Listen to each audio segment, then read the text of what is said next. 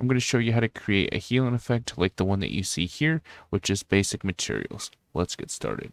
What you're going to do is you're going to create a new material and we are going to call this healing. Do note that I did import my healing mark for the material itself. So import the one that you want to use at this stage as well. Once that's done, open up the healing, go to blend mode and click translucent. From here, what you're going to do is you're going to get a texture sample and the texture sample which is going to be the burst, which is included in the starter content. What you're also going to want to do is you're going to want to get a particle color and a multiply. And to get the multiply, just hold M and click. Bring in your alpha and the red from your texture sample. And this is going to run into your opacity and you're also going to run your particle color into your emissive color. What you're also going to get is a rotator and bring this into your UVs here and set your speed to about four. In my personal opinion, that's probably the best option. And we are all set. So just click apply. And what you're going to do is you're going to cancel and close that out. You're going to want to duplicate this. We're going to name this healing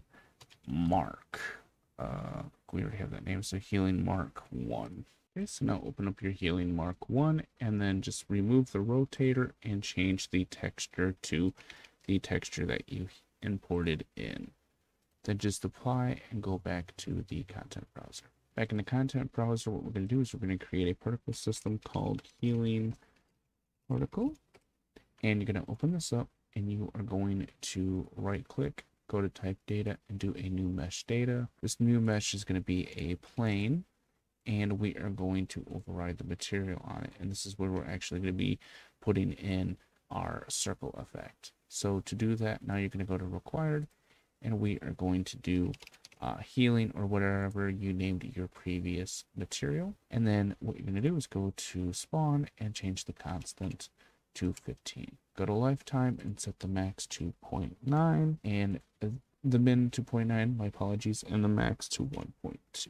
In the initial size category, what we're going to do is we're going to change this to set distribution to vector constant, and the constant of which is going to be 7x and 7y. For our initial velocity here, what we are going to also do is we are going to set our max to 5, 5, and 40.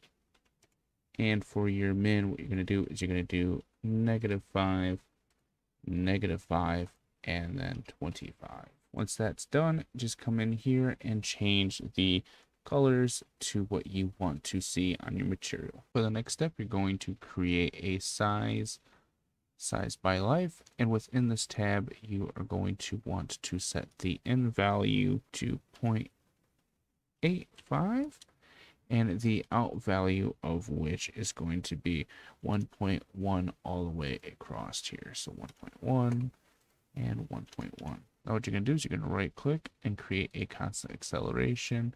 And within there, what you're going to do is you're going to set the Z to which is going to be 40. Now we're going to create a new emitter. And what we're going to do is we're going to go to the required and we are going to change the particle to radial gradient, which is included in the starter content. Within the spawn, we are going to change the constant to 35. The lifetime, we are going to set the max to 2. The initial size is going to be 35, 35, and 35. The velocity is going to be 10, 10, 90, and it's going to be negative 10, negative 10, 80. And now change your color once again. Once that's done, you are going to create a initial location and the values of which is going to be 200, 200, and negative 200 as seen here. And then what you're going to do is you're also going to duplicate the same emitter. Within here, you're going to go to required and then change this uh, material to our healing material, our healing mark specifically, and go to the initial size and change it to 18, 18, and 18 with a minimum of 14, 14, and 14. And what you're also going to do is you're going to want to create a constant acceleration and the z value of which is going to be 70. Back in our content browser, if we draw in the healing particle, you can see that it is placed on the map. You can adjust the scale accordingly to fit your the uh, environment that you're in.